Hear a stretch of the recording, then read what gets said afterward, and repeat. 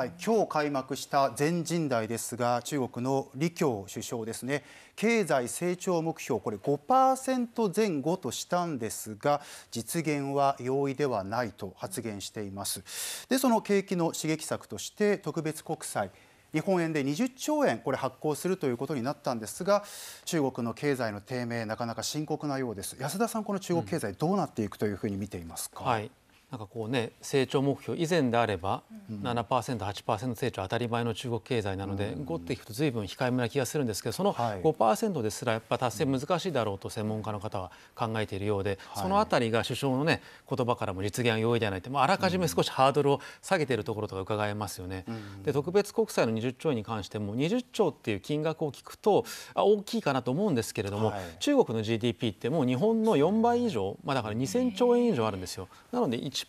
弱にまあ、過ぎないと、はあ、で今足元で中国経済起きていることとして、まあ、言われているのが、うん、こう不動産価格が下がり、うん、であの物価もいよいよデフレに突入していて。はあ。もうあたかもですね30年前の日本経済、あの地下バブル崩壊してからので金融危機が来てで長期停滞に陥る道をたどってるんじゃないかということが深刻に懸念されてるんですね、はい、そういう状況を考えるとこの GDP の1%にも満たないような特別国債で一体どうなるんだろうかと。もう少し大幅な手こ入れがあの必要なんじゃないかって気が個人的にはあのしますけどね、うん、ただ中国の経済低迷の状況日本への影響というのはどうでしょうか？そうですね。あのいい面悪い面があると思うんですけど一ついい面かもしれないのは、はい、これ足元で日本の株価4万円超えて好調じゃないですか、うんね、その一因として、うん、あの世界の投資家がアジアに投資する分があるんですけれども、えー中国経済がちょっと先行きはわからないので、はい、中国に投じていたお金が代わりに日本に来ているんじゃないかというふうに言われています、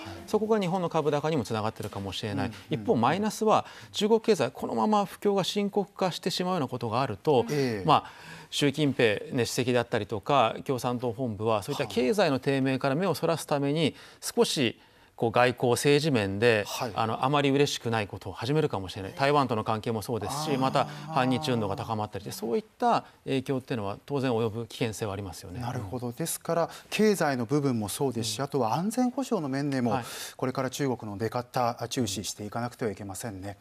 関西テレビニュース YouTube チャンネルをご覧いただきありがとうございます。チャンネル登録よろしくお願いします。